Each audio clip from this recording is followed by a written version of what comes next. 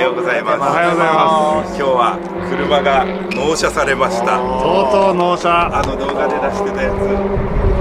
で納車日に納車場所がサーキットあのもう一発目から納車動画だけじゃなくて、なんかもう一発目から走らせたいなってことでサーキット持ってきてもらって、ちなみにうちで貸し切りしました。イエーイ。平日だったから3時間で6万何本ぐらいで貸し切れたので貸し切った上に TKC の社長に頼んでいっぱい仲間連れてきてくれて頼んだらいっぱい。いっぱいあります。いっぱいあります。そう全部 TKC のチームの人たちだと思う、ではい。みんなでワイワイ走ってちょっと僕の練習っていうことで貸し切ってるけど、い残り1時間ははい。別企画ちょっと別の動画にはなるけど、はい。2人がねあのレーシングシミュレータードリフトシミュレーターで練習して実写一発目でできるのかっていう 検証とあと胸子も昔やってたから、ラスト1時間ちょっと遊ぼうかなと、はい。まあ、追加も1時間取ったりできるらしいからまだやりたいっていうなら追加したりして、はい。まあ、とにかくこれを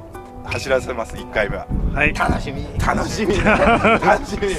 俺ずらーっと見てこれが一番好みなんですあ嘘。はい。ちょっと昔ながらのディスクめのオーバー。こ れあんま好きじゃない。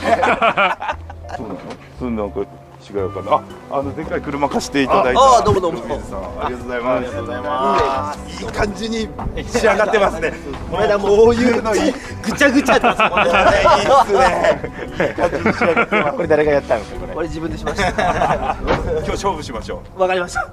つ追走追走かわいい見た感じのテイストだしですね間そう。違えそう。ます一応説明します。はい、ぜ前週。前週。えっ、とショートカットしてもいいです。でも前週の方が優先。大丈夫ですどうぞ。えもうあの言うことあいやいやあります。えー本日はお集まりいただきありがとうございます。あの約20年ぶりなので、あの迷惑かけるかもしれません負けません。いやいやいや J3 に出るっていうね一緒にいや先にだけ J2 に上がっとこうかなみたいな上がれればねよろしくお願いします。お願いしまじゃあ行ってきます。はいいってらっしゃいですよね。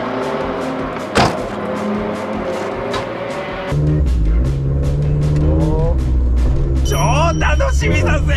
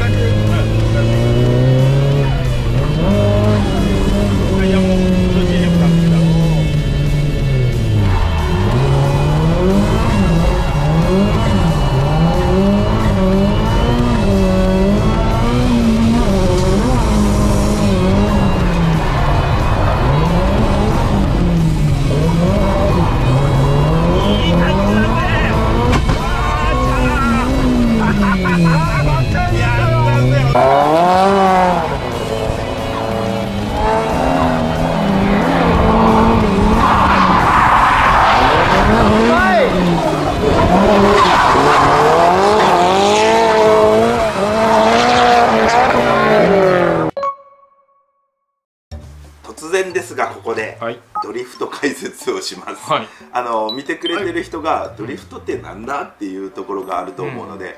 ざっくり説明します、ん。一番簡単に言うとドリフトってかっこいい感じにしたいわけですよ。スケートで言うと、こうスピードスケートの選手がめっちゃ速いやん、うん。じゃなくてフィギュアスケートですね。あ見せるこう見せてうん。何点っていうやつです。だからドリフトもどんだけかっこいい走りをするかっていううんうん。スポーツでで結局審査員が見てああの人の方がかっこいいあの人の勝ちみたいな、うん。まあ、単純に言うとね。でそのかっこよさの基準がいろいろあってうん。まずこれコース再現しました、はい。こっちから見てる感じですね。はい。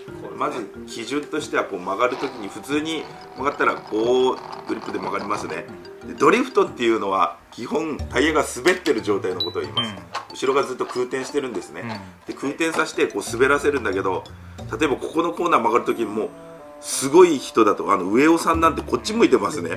こうグイーンってきてプリーンってケツ出してズルズルズルズルってこう向いてこう曲がっていくじゃん。でこれが要はまず一つ目の基準。角度です。うん。こっちに対してもう90度以上、この線に対してもう90度以上こう多分波の波の普通の人だったらこんくらいつけて、まあ、カウンターって当たってズルズルズルズルってこう滑っていくわけです、これに対して角度が、まあ、こんくらいついてますねとか、もう90度もついてますとか、上尾さんとかなんかもうケツ侵入って言って、90度以上もう後ろ向いた状態でこう入ってくる、まず一つのき基準がこの角度分かりやすく言うと、どんくらい角度をつけれるか、でもちろん次にスピード、まあ、一番がスピードかな。ここでどんくらいなんだろうね。100 100キロとか。そんなにあそこ出てるんですね。110キロとか出てんじゃないか。分かんない。これちょっと知ってる人いたらコメントください、多分100から110ぐらい出てると思う、はい。で1個目がスピード、2個目はさっき説明した角度。で3つ目が煙、めっちゃ煙出そうで。だから派手に。そう派手に。まあ要はここの摩擦の量が多かったらよう煙も出るし、っていうところなんです。で、基本審査コーナーってあって、もうこの1個のコーナーだけ。こうん。このオートポリスでいうとここからビューンって曲がってこっち行ってこう曲がってここら辺までなの大うん。体でもここら辺までだけどもうここら辺もほとんど惰性うんどん。なドリフトのコースでもで何が一番大事かってここの一番スピードに乗った一番ここが一番のかっこつけポイントなんです。ここら辺まで。なるほど。そうですね。俺多分その日練習で途中からタイヤがもったいないからここだけ練習して、ここからはもう何もしてないんだけど、うん。もうここで95%ぐらい決まるって言っても過言ではない。ここがもうここに全てが詰まってるって感じですね、でその中でここに全てが詰まってる中でこの侵入の種類がいっぱいあるんです、要はこのタイヤが地面とスピンすればいいんだけど、まあ一番初心者はブーンってきてサイドブレーキですね。サイドブレーキ引いたらリアタイヤだけがブレーキかかるんです、サイドブレーキって。リアタイヤがロックしてあの俺が車借りた時に一番最初の動画車借りた時にしたのがサイド侵入って言って、まあ、一番安全で一番簡単だから、まあ、人の車だったからやってたけどサイドブレーキかけてロックさせてキューって滑らせる、あんまりスピードも出ないし角度もつかないしこれが1個目サイド進入。で2つ目の進入が、まあ、ブレーキングドリフトとかもあるけどもうほとんど使わないので2つと思っていいか。クラッチ蹴りって言って、要はまあ、車詳しい人なら分かるけどクラッチを切ってアクセルを溜めて一気に離すと、まあ、突然これがすごい加速しだすんです、まあ、ゼロ完全に止まってる状態でもギアを普通につないでブーンって発進するじゃん。これを急発進させるイメージね。ブンブンブンって溜めてクラッチをいきなりポンって外すとこれがいきなり加速するってことはもう地面とのあの摩擦が勝ってブーンってこれが空転しだすんです。ゼゼロからの状態でもね。でそれを応用してある程度スピードで出てもいきなりクラッチをポンって外すといきなり空転し始めてギューって、まあ、基本クラッチ蹴りで入る人がほとんどなのかな、まあ、コースにもよるけどサイド侵入かクラッチ蹴りで入るんだけど、まあ、基本クラッチ蹴りの方が怖いし難しいしスピードが乗るので。で一発目に僕がやったのはそのクラッチ蹴りの中にも種類があって、まあ、逆振りっていうやつ、もうここから立ち上がってきてちょっとわざと真ん中目によってみんな真ん中からこっちに行ってると思うけど、なんでこんなことするかっていうとこっちに勢いつけた方が勢いよくケツが出てこのなんて言うんだろう。この角度が出てるこの時間が長くなるんです、これも長ければ長いほどもうこんなところからこう横向いてたのがかっこいいやん。普通に来てここら辺でキュッてやってもかっこ悪い、もうここら辺からあんなとこから横向けてきたぞーみたいな、イニシャル D 見てる人なら知ってると思うけど、あんなとこから横向けてきたぞーをしたいから、そのためにこっちに一回フェイントをかけて勢いをつけてあんなとこから横向いたぞーをやってるんです、で1個目が逆振りって言ってこの時点でクラッチを蹴ってブンってす完全に滑ってる状態にさせる。滑ってる状態にさせて勢いつけて滑ってる状態にさせる。で僕は多分最初に練習したのがこれ。うん。で多分動画見てくれたら分かるけど途中からクラッチ蹴りはスピードに乗らないから良くないよって社長に言われて、途中からはグリップでこうタイヤを滑らせない状態でギュッと勢いをつける、だからまあグリップの方が速いからグッとここまでスピードが乗りやすくなって、クラッチをうんって蹴る。クラッチを蹴ると同時にハンドル切って勢いつけてうんって出す、がクラッチ蹴りのもう一個、っていう感じで何種類かあの侵入方法があるんで、はい。でまあ基本クラッチ蹴りとかになるとちょっとレベルが上がるので村君も当時やってたけどクラッチ蹴りまではそこまでやったことないもんね三足蹴りは、何回突っ込んだことか。あの45回クラッチ蹴りの練習したけど45回とも車壊してるんで、クラッチ蹴るって結構難しい。3足ね。2足ぐらいだったら簡単だけど、3足の100キロ以上出てる状態からクラッチを蹴ると難しいっていう感じなので、動画を見た時に何をやってるのか分かんないじゃなくて、もう見てる人も素直にあの走りかっこいいと思ったらレースが高い、うん。あの走りちょっとすごい安全そうに走ってると思ったら もういいよあげるから安全そうに走ってると思ったら点数が低いと思っていただければその中でこういろんな種類の練習をしてるところです、やっぱあそこでもう踏んどってほしかったですね。あそこ。戻ってしもたわけですねやっぱ。あああ3足入れてスカーああそこもねロングサイドでごまかしてもよかったと思うんですけどね。あそこロングサイド？うんもうちょい外から行った方がやっぱりああ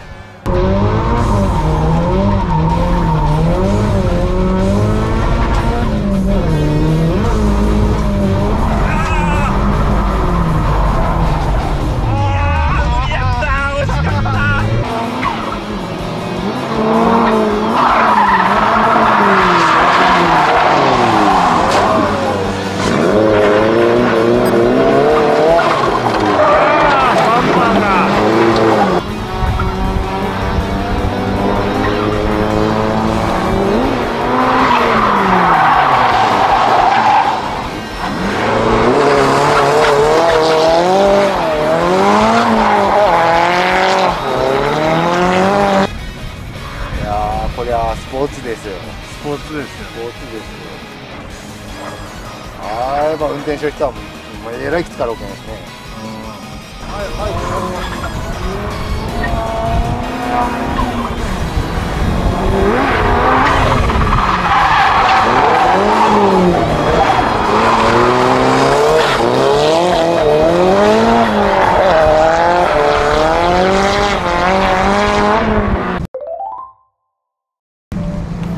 足はどがんやったね。え？足はどがんやったね。橋足足。足よかった足よかった。足よかった。です。足よう聞いとった。着地を愛すんなようん。車高調調整してくれた。うん。前が外れて。るあ前が外れた。あらすいません。こうくるって回るんでね。最初の角度がそんなない。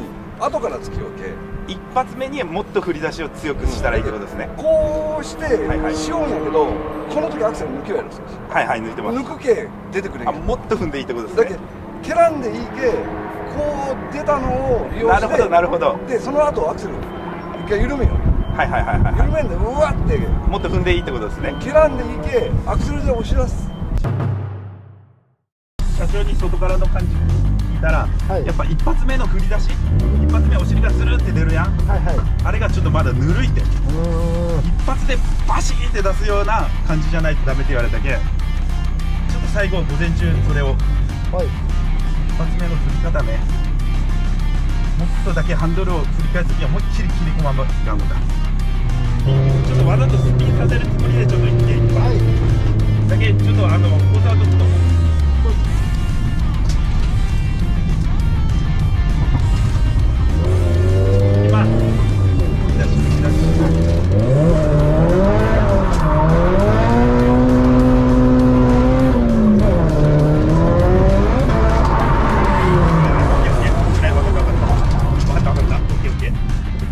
振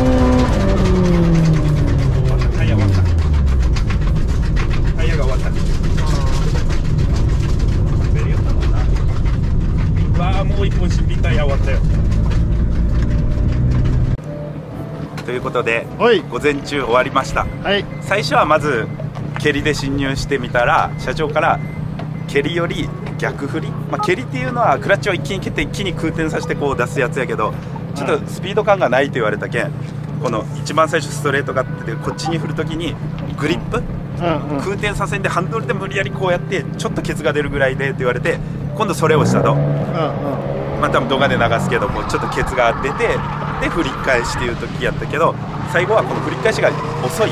ゆっくりズルズルズルズルズルで出ようけもっとバンと一発でとりあえずスピンせんといかんって言われたけ今ちょっと34連続スピンしてみたけど、うんうんまあその後見返したらねこうこっちに行った後にねこう振る時うんこうなったら振る時にねインガーがこう入ってきよさで足らんくなっていっけんケツをこっちにこう出さんといかんなっていう反省点も見つけたけ振り出し早くして、うん。インを中に入れるんじゃなくてケツを外に出す感じを午後からやろうかなって思う。了解ででタイヤが終了しました。すはい飛んだね。ケツがこっちに振ったらね次こうやけんな分かった分かった。これすっごい楽しい楽しいよね。であと1時間ちょっと俺練習させてもらって最後に3人で遊んでもらったら。はい。ものすげえシュールなあのねもうもうタイヤが1時間で多分新品だったけどあ1時間でタイヤが。これ走り屋の宿命よね。見てほら。あらほら。これ。はい。すごくない？たった1時間で。新品ほら新品あったとかこんだけなくなった。西川さんのホイール。社長のホイール。社長の入る壊すかもしれない割らんことね。でもねやっぱねぶっ壊す覚悟で走らんとねうまくならんさ。あ。壊れる時にしたら絶対うまくならんけんちょっとまあ見つけたら弁償するけんうんうん。その覚悟を持ってちょっと練習させてもらう。あれおさむさん？あら。あら。あら。お久しぶりです。あら。どうもどうも。あら。でも変わんないっすね。変わらん？かいやだって 変わったねはいあの当時からまあ老け顔だったから。全然かあの当時だって20後半ぐらいだったですよね。俺が二十歳の頃なんで。今今おいくつですか？これ47あらー。もうおじさんじゃないですか。僕はあのモーターワールドとかも確か一緒に行ったですよね。そうそうそう。結構あちこちね。あちこち一緒に行きましたよね、たまたまね行ったら「俺なんでこんなとこにおるん?」みたいなね。あーそうそうそう。もういろんな遠征先で一緒に。すごいお世話になって。でも当時は緊張してほとんど喋れなかった。ちょっと怖かったもん。いやいや怖くないかっ結構優しいのは知ってますけどあの当時の走り屋からしたら偉大なそれこそあー。D1 とかいたけど、ん俺らのね走り屋小僧としたら D1 選手よりも地元のスターだったから。ね、D1 選手よりも憧れてたから。いや懐かしいすげえ。でも本当そんなに喋ったことはないですよね、うんちょろちょろちょろね。あったら挨拶してで頑張ってねとか言われるぐらいでね。もうでももう緊張するからあありがとうございます。単語の会話みたいな。そうそうそうでもこっちからしたらね胸子もそうよね、憧れのそうだよね。TKC や。俺らだから D1 選手よりもピカイチレーシングとか、TKC レッドリボン男塾とかね。男塾 T FNR FNR とか。熊本だそうっすいやあれ福岡連合みたいな。あ福岡やったっけ？あそこら辺が走り屋小僧の憧れで D1 で来ていろんな選手出たけどでも俺らの憧れはそっちじゃなかったもんうん